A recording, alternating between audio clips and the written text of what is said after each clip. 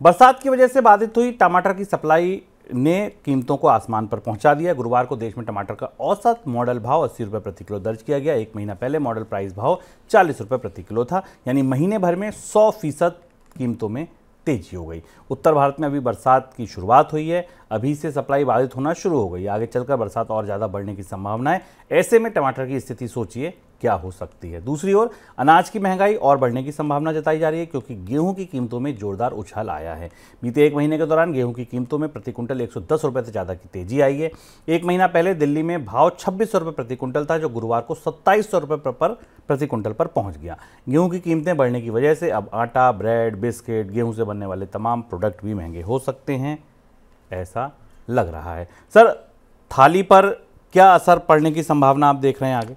कई महत्वपूर्ण बदलाव हुए हैं मानसून की आमद के साथ खाद्य महँगाई के क्षेत्र में, जो जो कई आयामों से अब बढ़ती दिखाई दे रही है। और ये चुनौती आरबीआई के लिए आने वाले महीनों में और महत्वपूर्ण बड़ी होने वाली है। और इसमें कई ऐसे फैक्टर्स हैं, कई ऐसे कारक हैं, जो आमतौर पर अब सरकार और रिज़र्व बैंक के नियंत्रण में नहीं दिखाई दे रहे। अगर आप पूरी तरह से से थाली को देखें, खाद्य थाली को देखें, जिसको, जिसे कृषि लेख जिसका इंडेक्स लेकर आता है, जिसे थाली इंडेक्स कहा जाता है और जिसे रोटी राइस रेट कहा जाता है जून के महीने में आ, में आ, थाली की कीमत में करीब वेज थाली की कीमत में 10 परसेंट की बढ़ोतरी हुई है। आ, और इसके अंदर कई सारे फैक्टर्स हैं जो काम कर रहे हैं जबकि नॉन वेज थाली की कीमत में करीब चार परसेंट की कमी आई है। लेकिन आप भीतर उतर कर देखें आमतौर पर माना जाता है कि बारिश के साथ खाद्य सामानों की महँगाई में कमी आती है क्योंकि एक फ़सल आ चुकी होती है रबी की और मानसून की तैयारियाँ हो रही होती हैं और खरीफ की फ़सल की तैयारी की तैयारी सामने होती है। पर ऐसा अब नहीं हो रहा है। भारत की खाद्य महँगाई का पूरा स्वरूप ही बदल गया है। तीन, जो महत्वपूर्ण फैक्टर हैं खाद्य महँगाई के, जिनको की तकनीकी भाषा में आप टॉप कह सकते हैं टमाटो ओनियन और पोटैटो इन तीनों की कीमतों में रिकॉर्ड बढ़ोतरी हुई है। करीब 30 परसेंट छियालीस परसेंट और उनसठ परसेंट फिफ्टी परसेंट की बढ़ोतरी हुई। और इसके कारण सब्जियों का कंपोनेंट दैनिक जीवन में और किचन एक्सपेंडिचर में लोगों के खर्च में बढ़ रहा है।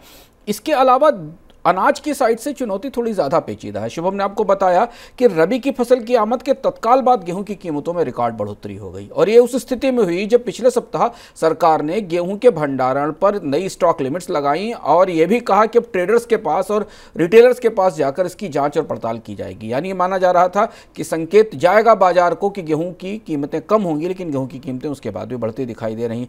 अराइवल्स कम है और राइस की कीमतों में भी खरीफ की फ़सल से पहले बढ़ोतरी दिख रही है। राइस की कीम, की कीमतों में बढ़ोतरी और गेहूँ की कीमतों में बढ़ोतरी मिलाकर पूरे के पूरे पूरी थाली को, पूरे के पूरे खाद्य बास्केट को महँगा कर रही है।